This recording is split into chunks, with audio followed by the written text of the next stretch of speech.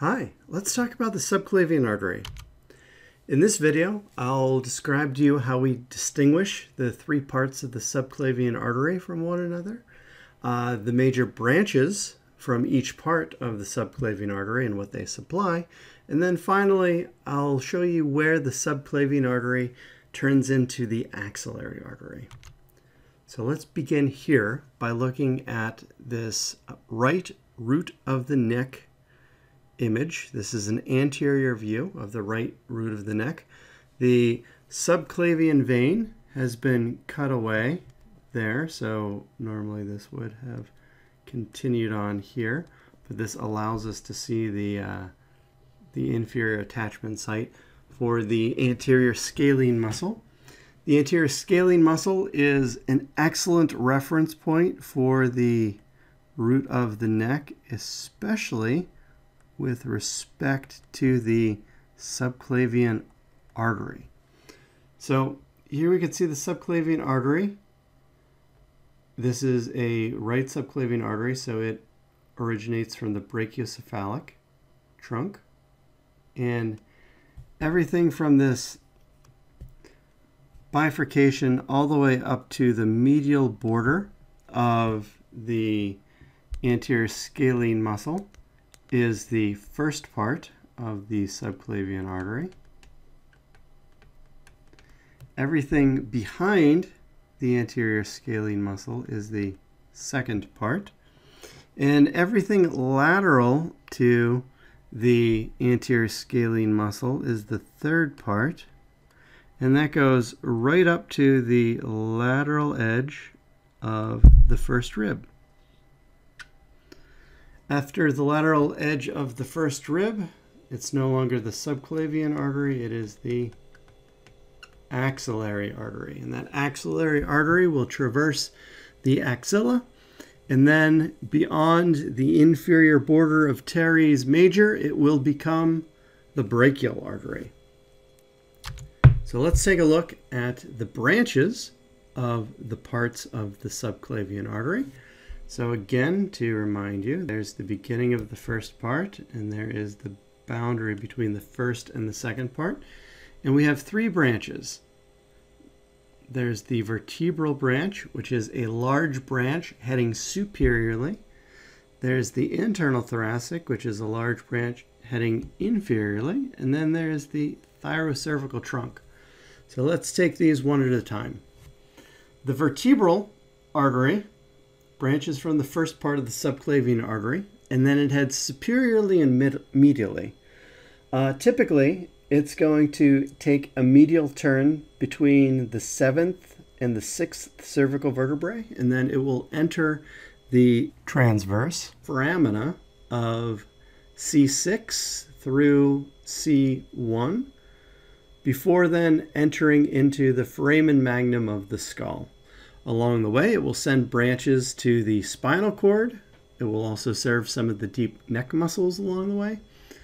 And once it enters into the foramen magnum, it will meet up with its counterpart, the vertebral artery from the other side, to form the basilar artery. So vertebral artery plus vertebral artery equals basilar artery.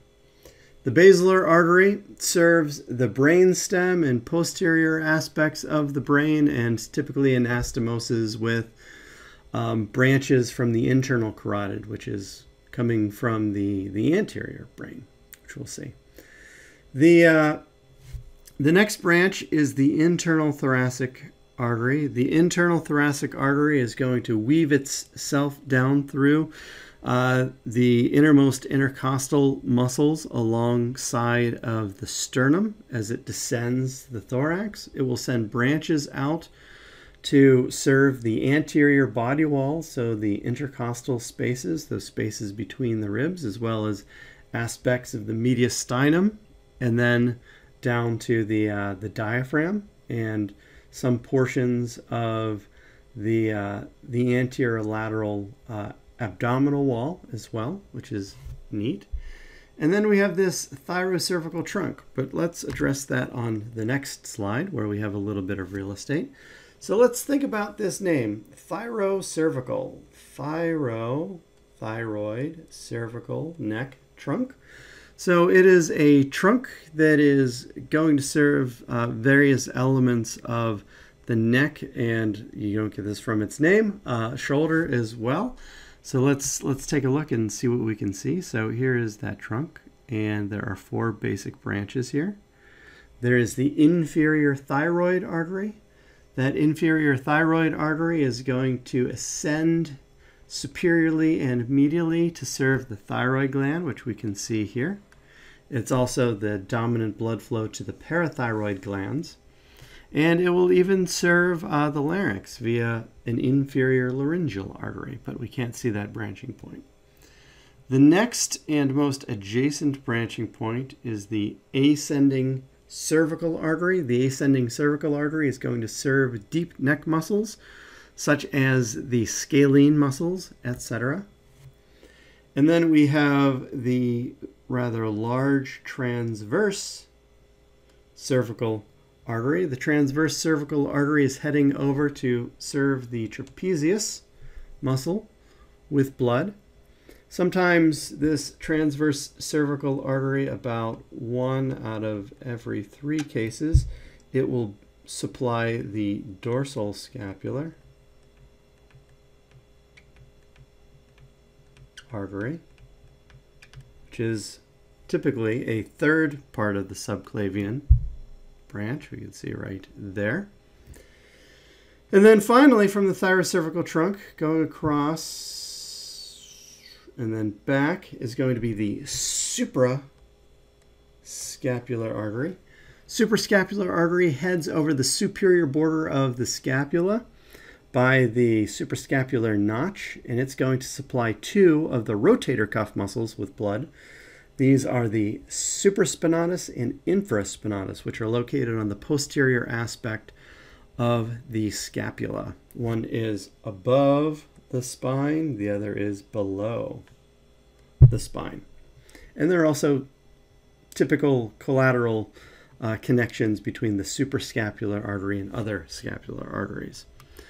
Um, this image has that very important landmark, the anterior scalene reflected. And we can see this beauty here. This is the costo-cervical trunk, costo, costal rib, cervical neck. And there are two branches to this. There's the deep cervical artery. The deep cervical artery, not pictured here, serves the deep neck muscles. And then there is another branch that is winding down, but not visible here, called the highest intercostal, sometimes called the supreme intercostal artery, that gives rise to um, anterior first and second intercostal arteries to serve the spaces between the first and second and second and third ribs. Moving right along, uh, that anterior scalene has been laid down again, and we have our third part of the subclavian artery, and its only branch, which is the dorsal scapular artery. That dorsal scapular artery runs alongside the medial aspect of the scapula, or the shoulder blade, and it's going to serve three muscles with blood, the levator scapulae, which is an elevator of the scapula, as well as rhomboid minor and major muscles. A third of the time, this is going to be a branch of the transverse cervical artery. But two thirds of the time, it's from this third part of the subclavian. And then finally, we can see there's our rib 1. There's our lateral border of rib 1. Beyond this boundary, we have the axillary artery. That axillary artery supplies the axilla and shoulder with blood, um, and it's an important reference point for uh, various divisions and uh, cords of the brachial plexus. So the, the anterior divisions are anterior to the uh, axillary artery. The posterior divisions of the brachial plexus are posterior to it. Uh, posterior cord is posterior to the axillary artery, and medial and lateral cords of the brachial plexus are medially and laterally, respectively, located uh, with respect to the axillary artery. So that's uh, that's a, an interesting naming convention, which leads us to our terminal assessment question for the video, and that is which muscle can be found sandwiched between the subclavian vein and subclavian artery? Is it the anterior scalene artery? Oh, I remember the anterior scalene artery is a very important muscle with respect to the subclavian artery. So we know that uh, it's bordering the subclavian artery. We know that the first part is medial to the subclavian, uh, to the anterior scalene muscle.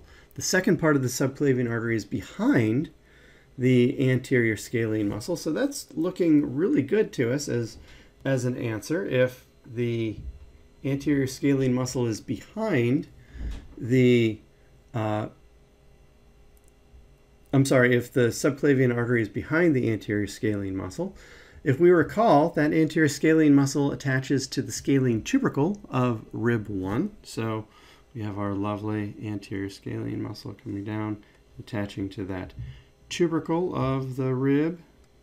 Right, there's our rib 1 going across, usually cut off. Behind that is our subclavian artery. And in front of that is our subclavian vein, SCA, SCV. So that's looking like a, a great answer. Middle scalene, middle scalene is also attaching to rib 1, but it is behind the subclavian artery. That's not a good answer. Posterior scalene, that's with the middle scalene behind the artery. Sternocleidomastoid, no, that's way over here on the neck. And trapezius, no, that's way back there on the back. So Anterior scalene muscle, final answer for the muscle that is betwixt the subclavian vein, which is anterior to the muscle, and subclavian artery, which is posterior to the muscle. Thank you very much for your time.